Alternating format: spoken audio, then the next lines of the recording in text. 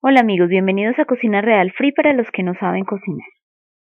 Hoy vamos a preparar lomo de cerdo relleno con chorizo. Una forma de hacerlo más jugoso y sabroso.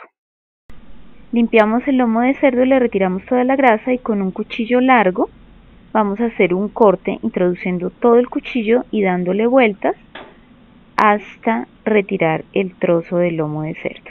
En este orificio introducimos el chorizo haciéndole fuerza y presión hacia adentro para llevar el chorizo de extremo a extremo del corte de lomo de cerdo.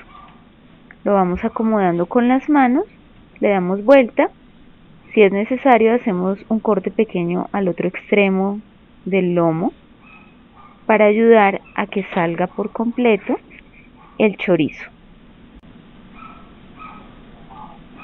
Lo seguimos acomodando, si no les es fácil hagan el hueco más grande. Cuando ya está listo calentamos una olla, colocamos el cerdo dentro, tapamos y disminuimos el fuego al mínimo. Lo vamos a cocinar por dos horas aproximadamente. Más o menos a la hora de cocción destapamos, le damos vuelta para que se cocine parejo.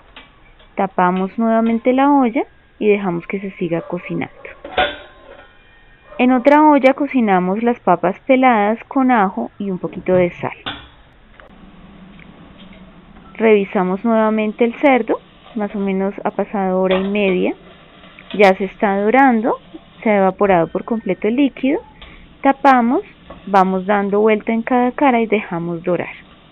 Introducimos la punta de un cuchillo si entra fácil y sale fácil y nos sale al hacerle presión sangre ni líquido está listo.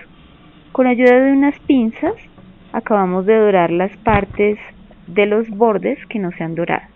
Dejamos reposar unos 10 minutos y luego cortamos con un cuchillo grande sobre una tabla.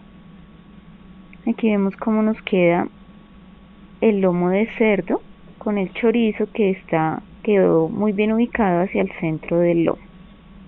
Los cortes deben ser gruesos, de más o menos un centímetro.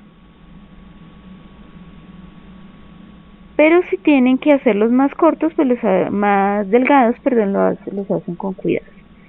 Así nos queda nuestro lomo de cerdo, todo el sabor del chorizo se ha distribuido por la carne del cerdo por la cocción tan lenta y esto va a hacer que todo el lomo de cerdo sepa chorizo y quede jugoso. Servimos una porción de papas hervidas y una porción de lomo de cerdo. Escogimos papa porque el sabor del chorizo es intenso, entonces queremos cortar. Podemos acompañar con aguacate o ensalada verde. Si quieren pueden acompañar también con una salsa de ciruelas, de piña o de maracuyá.